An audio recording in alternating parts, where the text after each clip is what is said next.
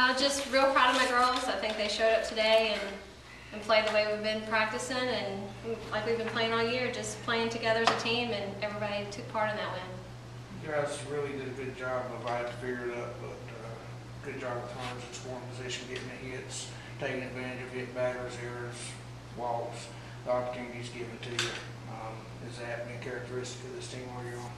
It has. Um, it, like I said, sometimes I don't know which person's going to get it done, but somehow or another we always manage to manufacture some, some runs in those situations. So we just hope it continues.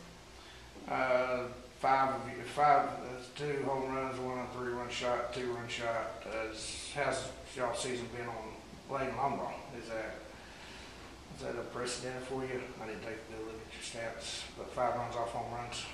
Um, no, not really. But I don't, I mean, I want to, we want to hit the ball hard and we want to have a good at bat, and that's kind of our approach at the plate. And, um, but we're not going, we're never the team that live or die for long ball. So if it happens, it happens. If it doesn't, I think we all believe we know how to win a ball game with or without home runs. So Okay. Uh, for you, first of all, you guys, seventh seed coming in, you look more like the number one or two seed as compared to the seventh seed. Mindset of the team coming into this, was that, did that play a factor that, but you guys look more like the number one or two seed than the seventh seed? Um, not really. It's more of a motivation factor for us, like being the large seed, kind of like the underdog. So just go play ball. Talk about your game, one hit, scatter seven hits, uh, or one run, scatter seven hits, no walks, three Ks.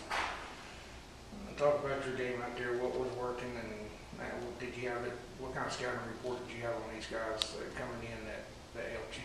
Um, I knew a couple of them pulled the ball, and then I just hit my spots and put my team in winning situations and did my job. Coach, talk about tomorrow, you're in the winter, so you're in the winner's bracket now.